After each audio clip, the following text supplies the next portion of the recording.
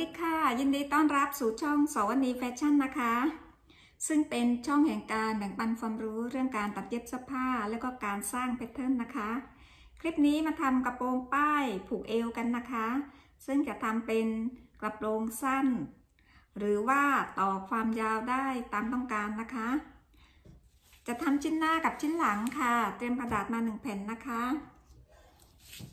ด้านบนให้วัดลงมาสักหนึ่งไม้บรรทัด ตีเส้นเลยค่ะ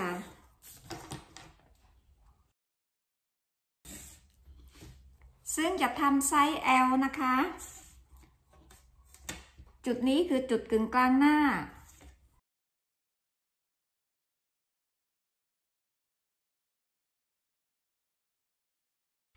จะทำชิ้นหน้าก่อนเลยค่ะ จุดนี้คือจุดกึ่งกลางหน้า ให้วัดเข้ามานะคะ36เซนติเมตรเส้นนี้ก็จะเป็นเส้นเอว จากเส้นเอวให้วัดลงมา เป็นสะโพกบน10เซนติเมตร แล้วก็จากสะโพกบนวัดลงมาอีก10เซนติเมตรเป็นสะโพกล่าง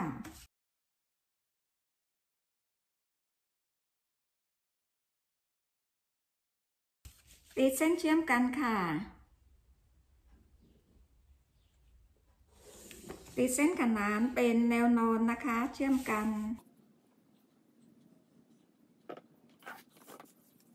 ส่วนความยาวถ้าต้องการเป็นกระโปรงสั้น miniskirtก็วัดลงมาจากเส้นสะโพก 23เซนติเมตรหรือว่าถ้าต้องการให้ยาวกว่ากระโปรง miniskirt ก็วัดลงมาตามความต้องการเลยค่ะ แล้วก็ตีเส้นเชื่อมกันค่ะ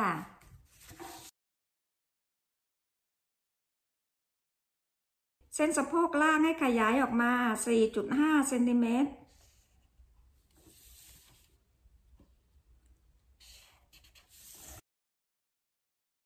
แล้วก็โค้งแนวสะโพกให้สวยงามค่ะ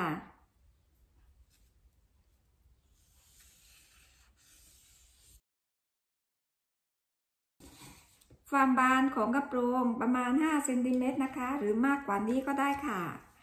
แล้วก็จากเส้นสะโพก ตีเส้นลงไปให้สอดคล้องกันค่ะ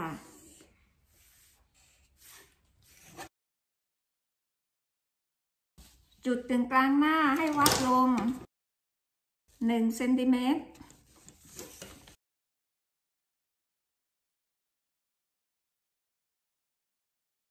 แล้วก็โค้งเส้นนิด ๆ ค่ะ แล้วก็ตัดตามที่วาดไว้นะคะ ชิ้นหน้าเวลาวางผ้าก็วางผ้าสองชิ้น โดยที่ชิ้นหนึ่งฟั่มชิ้นหนึ่งหงายนะคะ เผื่อเย็บโดยรอบเลยค่ะ ต่อไปก็มาทำชิ้นหลังกันค่ะ ด้านบนก็วัดลงมาหนึ่งไม้บรรทัดนะคะ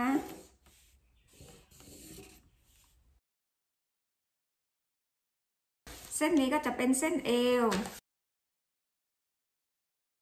เส้นนี้ก็จะเป็นเส้นกึ่งกลางหลัง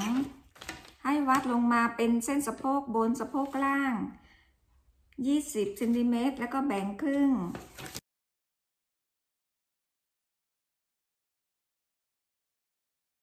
ชิ้นหลังจะมีเกล็ดหนึ่งเกล็ดนะคะ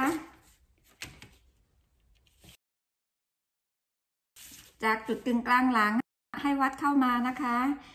23.5ความยาวของกระโปรงก็เท่ากับชิ้นหน้า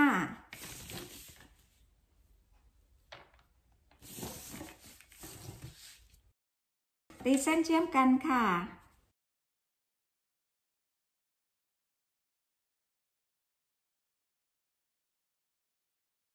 แล้วก็ตีเส้นสะโพกบนสะโพกล่าง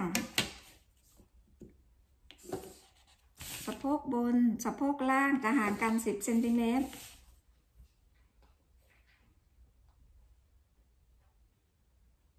กึ่งกลางหลังให้วัดลง 1 เซนติเมตร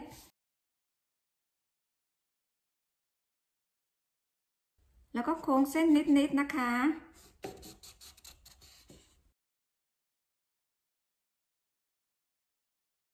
จากจุดกึ่งกลางหลังให้วัดเข้า 7.5 เซนติเมตร เกร็ดกว้าง3เซนติเมตรแบ่งครึ่ง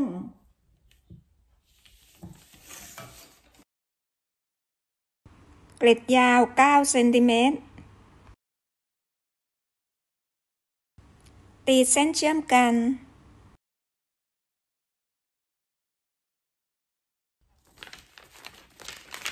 ปิดเกล็ด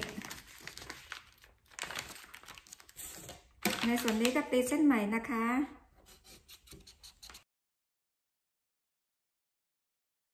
เส้นสะโพกล่างขยายออก 4.5 เซนติเมตร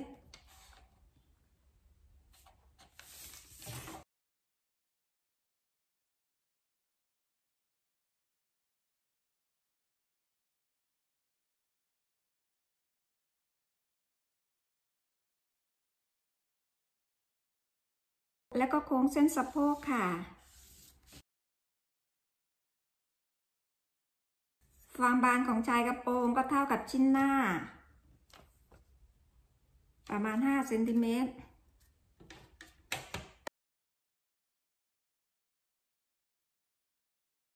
จากเส้นสะโพกล่างก็ตีเส้นลงมานะคะ ให้เส้นสอดคล้องกันให้สวยงาม